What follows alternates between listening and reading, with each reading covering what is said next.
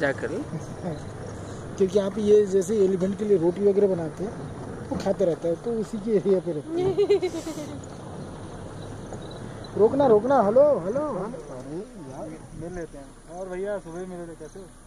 अकेले हो आपके दोस्त कहाँ हैं? हम लोग छड़ गए हैं, लगता है। इधर कहीं आगे बढ़ने में लुक्स